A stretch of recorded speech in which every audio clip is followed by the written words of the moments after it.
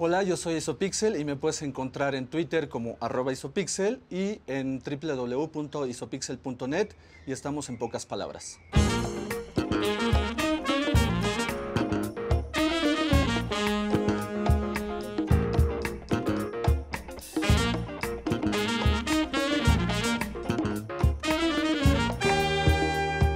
En esta ocasión les traigo un tema interesante y creo que es una enfermedad, un, padecimiento muy típico de los tiempos modernos. ¿Alguna vez ustedes se han sentido un poquito estresados o mucho estresados cuando olvidan el teléfono celular? A mí me ha pasado bastantes veces, de que vas en el carro y de repente sientes que no traes el teléfono, das vuelta en U y te regresas.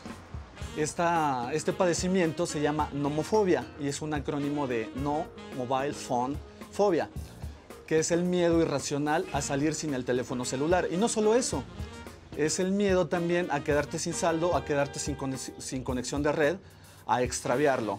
Y es un padecimiento de estos tiempos, lo cual no está padre. El acrónimo, este, este síntoma, nomofobia, se acuñó en el 2011 debido a un estudio que se hizo en Reino Unido por parte de la Oficina de Correos, donde estudiaron eh, la sintomatología de los usuarios ingleses cuando olvidaban el teléfono móvil.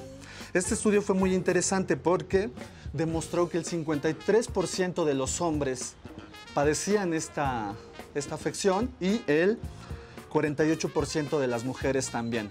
Es un miedo irracional, o sea, no es normal.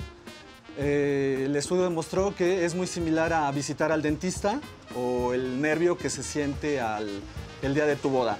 Es algo, es algo real y pues es algo que no, que no debería de ser. Así es que em, la invitación es a despegarse un poco del móvil, a hacer otras actividades, a reunirse con los amigos, a tomar un café, porque la mayoría de nosotros afirmamos que debido al trabajo tenemos que estar conectados, lo cual es una falacia, porque solo el 10% de este estudio tenía que estar conectado por cuestiones laborales. Todo lo demás ya es algo inventado.